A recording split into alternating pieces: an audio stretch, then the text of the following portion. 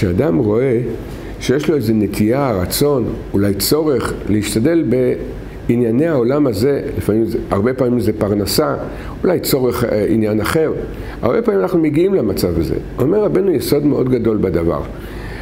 באמת, הרבה פעמים יש צורך בשביל תיקון הנפש, תיקון הרוח, נפש, רוח, נשמה שלנו לעסוק בענייני העולם הזה.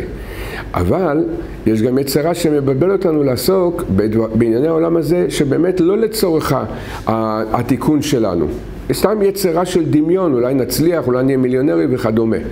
רבנו אומר שבכל דבר שאדם עוסק בעולם הזה, צריך שיכוון במחשבתו ובדעתו, הרי אני עושה עסק זה על מנת לתקן את נפשי.